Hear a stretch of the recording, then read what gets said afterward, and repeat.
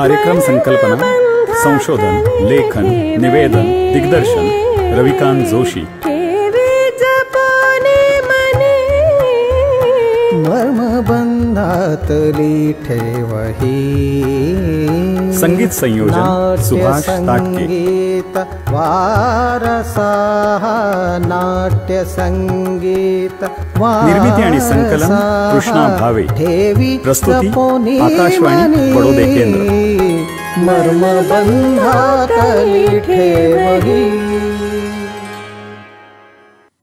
रसिको नमस्कार मर्मबंधातली ठेव ही या बावन भागात सादर होणाऱ्या रेडिओ कार्यक्रमाच्या विसाव्या भागात आपले मनपूर्वक स्वागत आजच्या भागात आपण एकोणीसशे सोळा सालच्या संशय कल्लोळ नाटकाविषयी जाणून घेऊया. संशय कल्लोळ हे गंधर्व मंडळीचे पहिले नवीन नाटक. गोविंद बल्लाळ देवलांनी गंधर्व मंडळीतील लोकांच्या बालगंधर्वांच्या आग्रहामुळे त्यांचे जुने म्हणजे अठराशे त्र्याण्णव सालचे फाल्गुनराव अथवा तसबिरीचा घोटाळा हे गद्य नाटक संगीताचा साथ चढवून संगीत संशय कल्लोळ या नावानं रूपांतरित केले. फाल्गुनराव हे नाटक नटसम्राट गणपतराव जोशी यांची शाहूनगरवासी नाटक मंडळी करीत असे. पण नंतर संगीत नाटकांच्या चलतीमध्ये हे नाटक बंद पडले होते. या नाटकाच्या काही चाली देवलांनी स्वतः तर काही इतरांच्या साह्यानं दिल्या. व त्या किर्लोस्करी वळणाच्या नसून त्यावेळी प्रचलित झालेल्या मानापमानच्या पठडीतील होत्या. नाटकाविषयी आणि देवलांविषयी अधिक जाणण्याआधी संशय कल्लोळचे किर्लोस्करी वळणाचे कर्नाटकी चालीवर आधारित नाट्यपद ऐकूया श्री अजित कडकडे यांच्या आवाजात.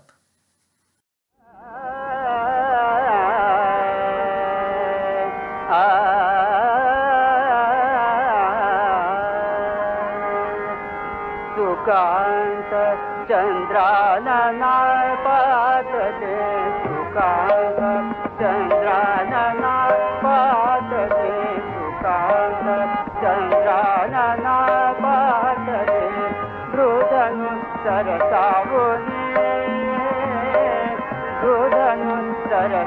रु कटाकघर शरी भेद कटाकघर शर कटाक्ष कर कर हृदय गज कामिनी सुकांत चंद्रा पात सुकांत सुकांत चंद्रा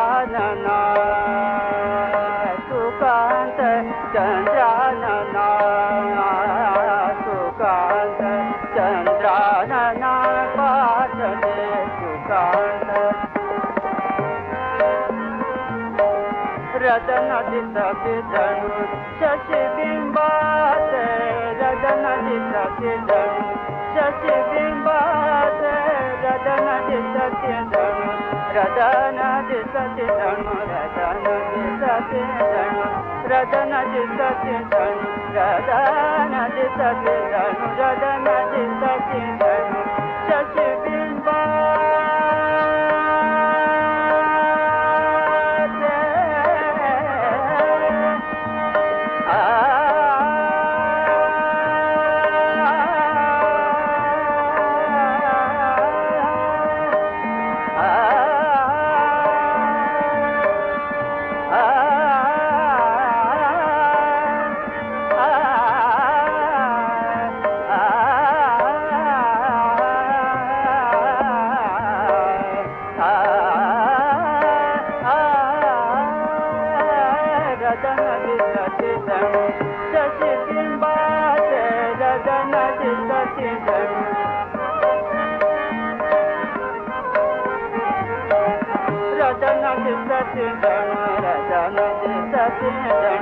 जणू रतन दिसते जणू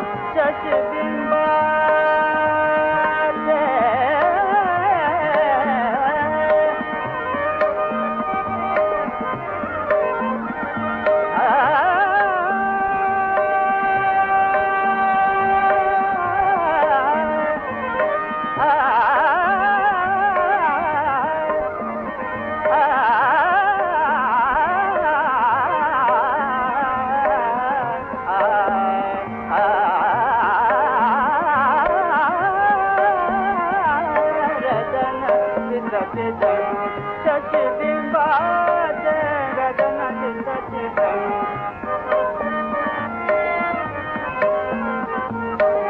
शशिबिंबाचे रदन दिसते रदन दिसते जणू खंडमुखे कोविले खंडमुखे. सचन करण नागार कुर करल कुरल करल नेत्र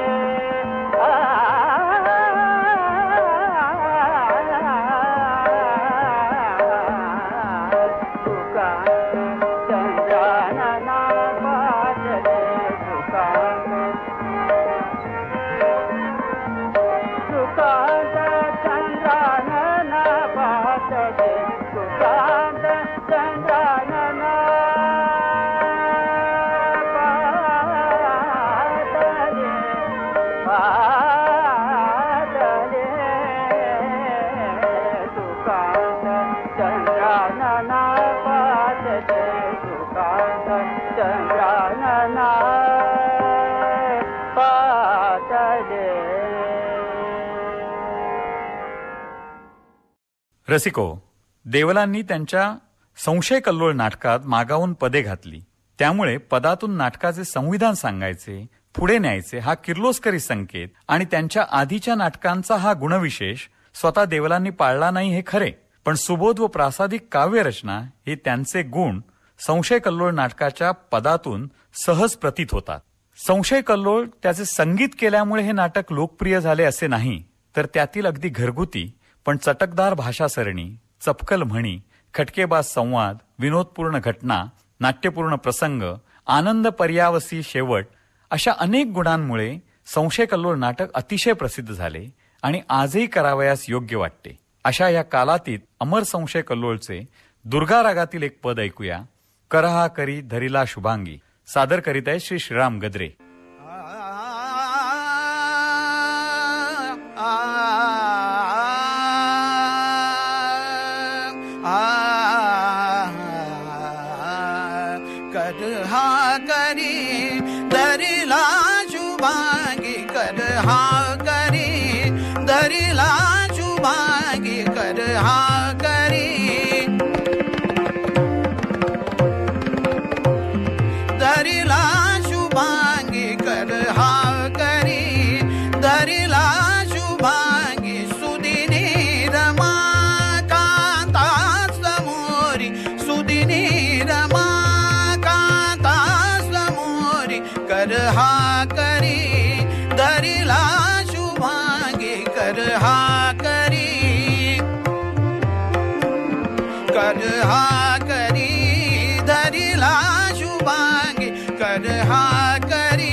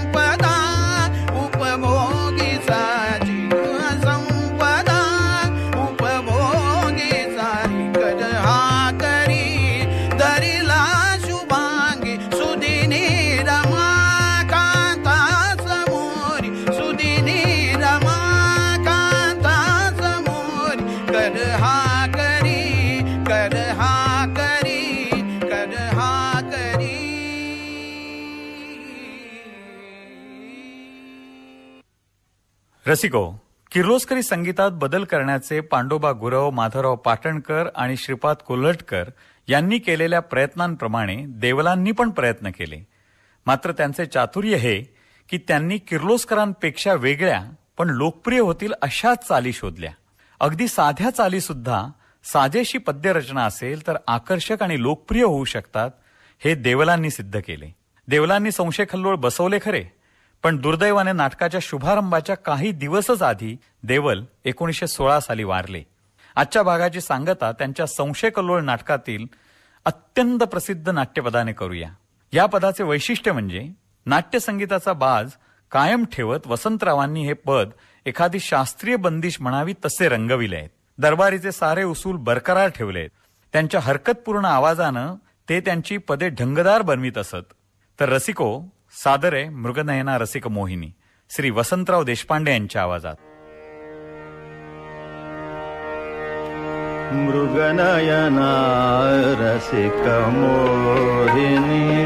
मृगनयना रसिक मोहिनी.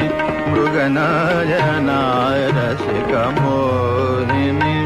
मृगनयना रसिक मोहिनी. मृगनयना मृगनयना मृगनयना रसिकमोहिनि मृगनयना रसिकमोहिनि कामिनी ओतीति मञ्जुल रसिकमोहिनि रसिकमोदिनी कामिनि।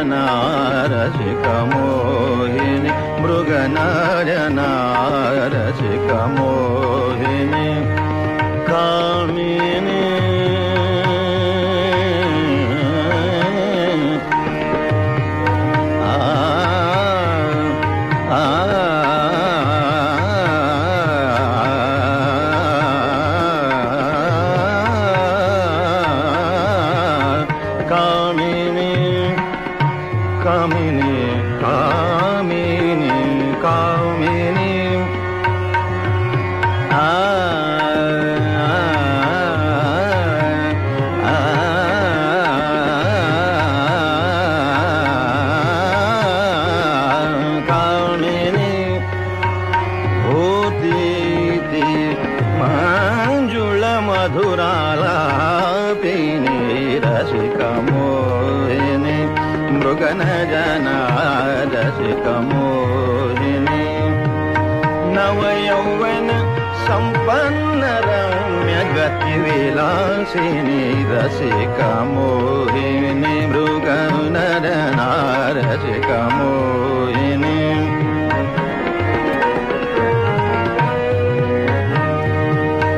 आह्लादक मुखचन्द्र हि होदा। आह्लादक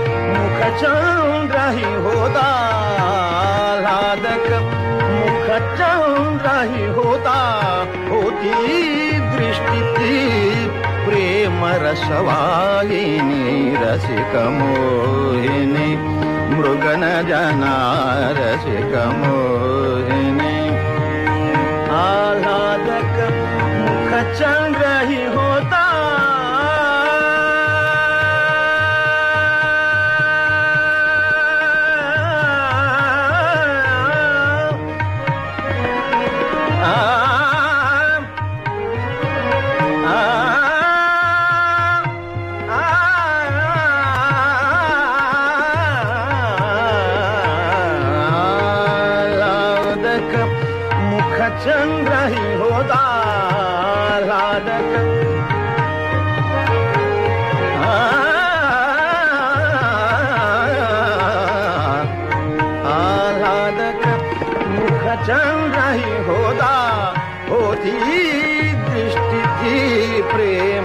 रसवायिनी रसिक मोहिनी मृगन जना रसिक मोहिनी मृगन जना रसिक मोहिनी मृगनायना